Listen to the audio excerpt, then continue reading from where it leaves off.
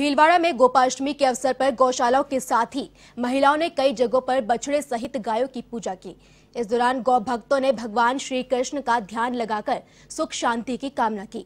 शहर में स्थित रामधाम गौशाला में गौ भक्तों ने गायों को फूलमालाएँ पहनाई और हरा चारा, हरी सब्ज़ियाँ, गुड़, दलिया आहार खिलाकर गोपाष्टमी मनाई।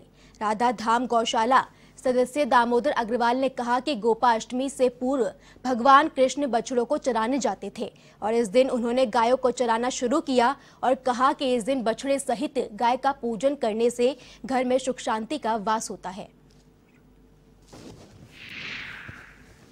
रामायण ट्रस्ट के अंदर गोपाष्टमी का कार्यक्रम बहुत सुनियोजित ढंग से मनाया जाता है।